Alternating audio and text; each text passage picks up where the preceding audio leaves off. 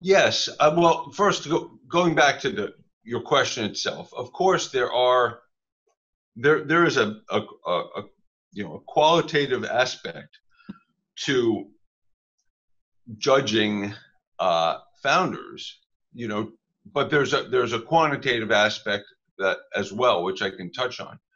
But you know, in terms of the qualitative aspect of it, we look for obviously past experience, experience working together as a team, what they've accomplished to date, what their defined roles are within the structure.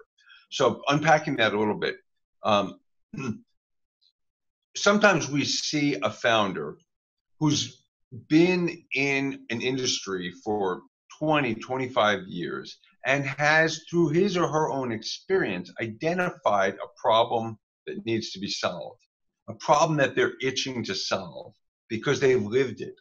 They've lived it in that industry. And then they go out and they set out to solve that problem with this new company.